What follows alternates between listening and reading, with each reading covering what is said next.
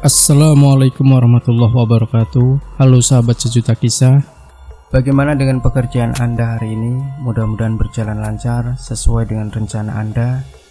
Jumpa kembali bersama kami Channel yang selalu menghadirkan kisah-kisah nyata misteri. Dan kali ini kami akan berbagi Sebuah kisah nyata misteri yang berjudul Demi kekayaan rela nikahi jin seram setelah usahanya bangkrut akibat amukan masa pada peristiwa hura-hura masal tahun 1998, dia akhirnya memutuskan untuk menikahi Jin. Ini dia lakukan demi kembali meraih kesuksesan. Dalam perjalanan menjelajahi berbagai pelosok, penulis sempat menemukan kesaksian dari seorang anak manusia yang telah menjalin hubungan sangat erat dengan eksistensi bangsa Jin. Ya, dalam sebuah tugas liputan, penulis secara tak sengaja mampir ke rumah seorang sahabat yang sudah lama tak dikunjungi. Rasidan namanya, atau biasa dipanggil Joni. Dari sinilah kesaksian yang sulit diterima akal sehat itu bermula. Tak seorang pun manusia yang tahu apa yang akan terjadi dengan dirinya di masa mendatang. Semuanya masih merupakan misteri yang sulit ditebak.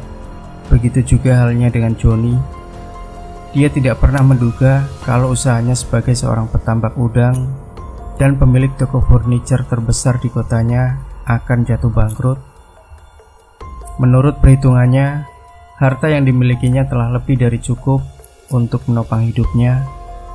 Tapi dia lupa bahwa perhitungan manusia kadang-kadang bisa berubah atas ketentuan ilahi.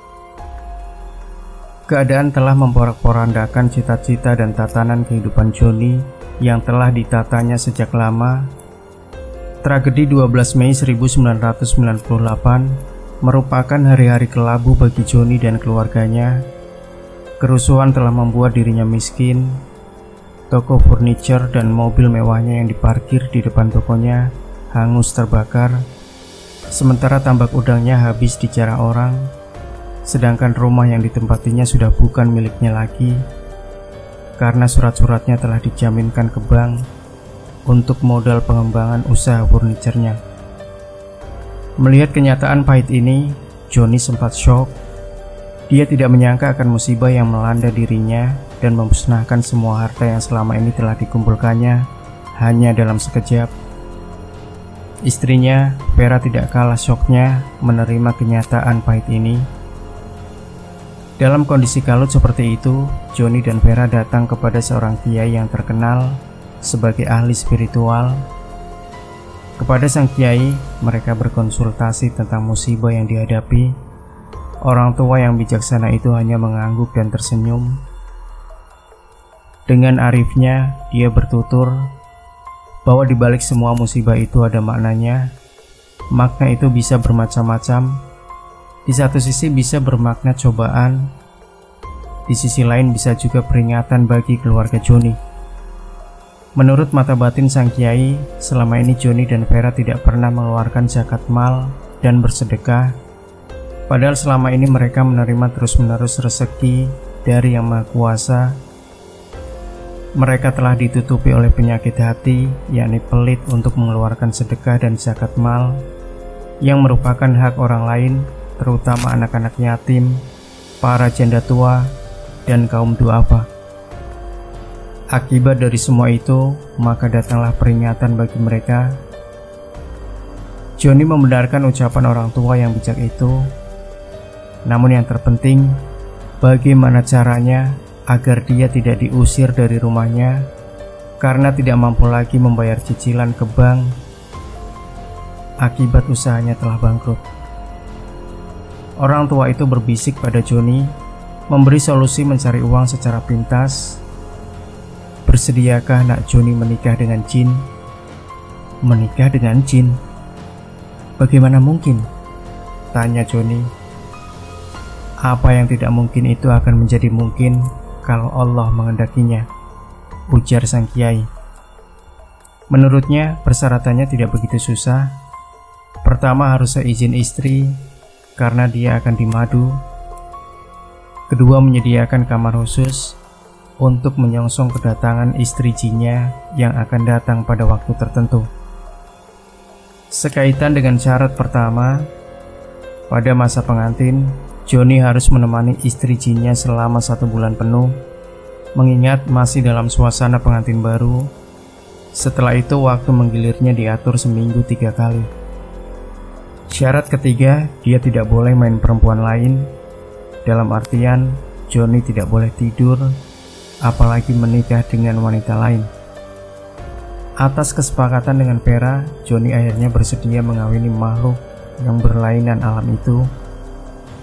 Sesuai dengan waktu yang telah ditentukan, ritual pun dimulai. Joni sudah siap di kamar orang tua itu. Suasana di kamar agak lain, seperti ada hawa sejuk yang menyenangkan. Setelah melakukan upacara ritual, suasana begitu sangat syahdu, namun terasa berbalut mistik, sepi, namun sesekali terasa mencekam. Tak lama kemudian Joni mendengar ada suara dari luar. Assalamualaikum. Suara itu begitu lembut. Joni tersentak. Orang tua itu berbisik. Pengantin wanitanya sudah datang. Segera dia bangkit membukakan pintu. Tampak seorang gadis cantik berjilbab putih dengan gaun terusan warna hitam bergaris lembut. Melihat keanggunan dan kecantikan gadis itu, kerongkongan Joni seperti tercekat.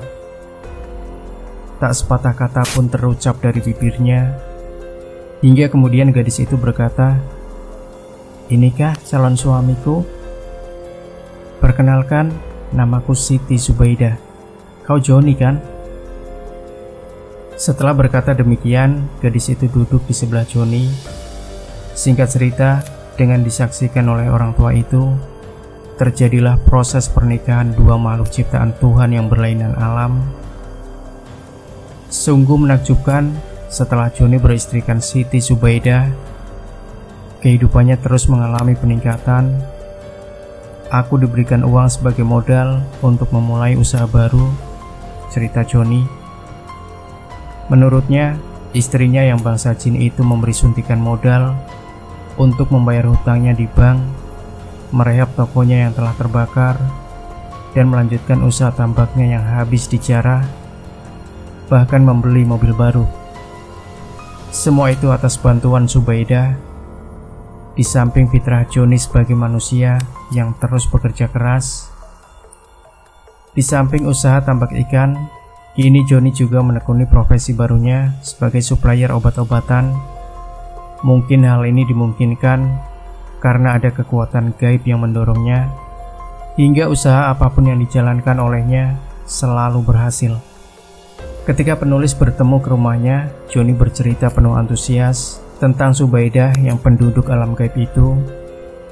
Atas keinginannya, dia akan mengundang Subaidah dan memperkenalkannya denganku Aku sempat mencegah dengan alasan takut melihat wajah dari makhluk yang berlainan alam itu. Namun Johnny tetap bersikeras untuk mengundangnya. Menurutnya, Subaidah mempunyai kemampuan untuk mewujud layaknya seorang manusia. Karena kau memaksa, aku bersedia saja. Begitu akhirnya kata penulis. Tak lama, kami mendengar deru mobil memasuki halaman rumah Seketika suasana di penghujung malam itu sudah merubah aura menjadi penuh dengan kegaiban. Kijang kapsul warna putih metalik melewati kami yang sedang duduk di beranda muka. Sementara mobil itu berhenti di pavilion samping rumah. Segera Joni menyongsong wanita yang turun dari dalam mobil itu. Sekilas, pandangan penulis menoleh dengan diiringi oleh bulu kuduk yang meremang. Jantungku berdetak kencang Penulis segera paham dengan situasi itu.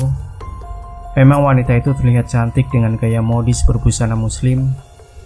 Joni dan wanita yang mungkin adalah Siti Subaidah itu terlihat masuk lewat pintu samping. Namun tak lama kemudian wanita itu keluar lagi meninggalkan tempat itu tanpa sempat bertemu muka denganku. Aku berdecak kagum atas penampilannya dalam permainan imajinasi sudut pandang Mobil kijang yang tadi terlihat itu ternyata hanyalah seekor kuda putih. Sementara sosok wanita itu tidak terlihat secara jelas karena kesannya terburu-buru. Setelah kejadian yang hanya kurang dari satu menit itu, kembali Joni menghampiriku dan mengatakan bahwa tadi itu adalah istri mudanya. Aku hanya terpaku menyaksikan kejadian muskil itu. Sekarang kau mungkin percaya bahwa aku telah beristrikan wanita dari alam gaib. Kata Joni setelah sensasi aneh itu berlalu. Penulis hanya angkat bahu. Apakah benar yang dikatakan Joni? Penulis masih sulit untuk mempercayainya. Sekitar setengah bulan setelah pertemuan itu, tiba-tiba ada kabar melalui handphone kalau Joni sekarang dirawat di rumah sakit. Merasa khawatir atas kesehatannya, penulis pun segera berangkat untuk menjenguk Joni Sesampainya di sana, kulihat sahabatku itu terbaring lemah. Segera ku hampiri dan ku dengar dia berbisik mengatakan bahwa istrinya marah karena Johnny telah mengundangnya secara mendadak dan terasa ada benturan pada dirinya begitu melihatku. Aku katakan bahwa hal itu tidak apa-apa. Makanya, aku bilang jangan kau lakukan itu. Kau sendiri yang memaksakan, ujar penulis. Joni hanya tersenyum kecut. Menurut analisis tim medis, Joni terkena gejala tipes. Namun berdasarkan terawangan alam kesunyian yang dilakukan penulis, sahabatku itu terkena imbas negatif akibat benturan hawa energi antara penulis dengan istrinya itu. Untuk membantu penyembuhannya, penulis segera mengirimkan energi ke tubuhnya untuk memulihkan kondisinya. Setelah itu aku pamit pada Vera dengan berpesan segera memberi kabar bila terjadi apa-apa terhadap Joni. Selang tiga hari kemudian, Vera, istri sahabatku itu mengabarkan bahwa suaminya sudah kembali dari rumah sakit dengan kondisi agak baikan. Aku bersyukur mendengar kabar baik itu. Aku sempat menelpon Joni dan mengatakan padanya agar dia mulai memikirkan masa depan hidupnya. Jangan terus beristrikan jin itu. Aku takut nantinya kau yang berada di bawah pengaruhnya, John, kataku. Johnny memahami kekhawatiranku. Aku berjanji akan mencari jalan keluar untuk berpisah dengannya. Katanya dengan suara jernih. Ini artinya Johnny sungguh-sungguh sudah baikan. Demikian sahabat sejuta kisah, tinggalkan komentar Anda, like, share video ini, subscribe channel sejuta kisah, dan kembali nantikan kisah nyata misteri terbaru dari kami setiap harinya. Sampai jumpa. Wassalamualaikum warahmatullahi wabarakatuh.